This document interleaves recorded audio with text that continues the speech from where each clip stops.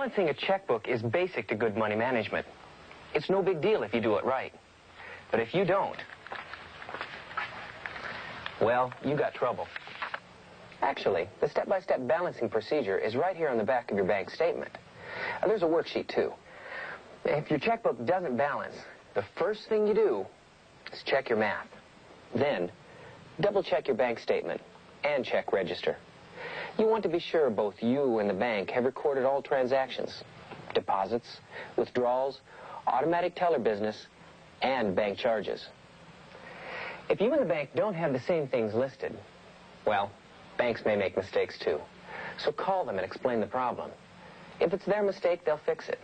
If not, they'll be happy to help you get a fix on the problem. Take the time to balance your checkbook every month. It'll save you lots of headaches.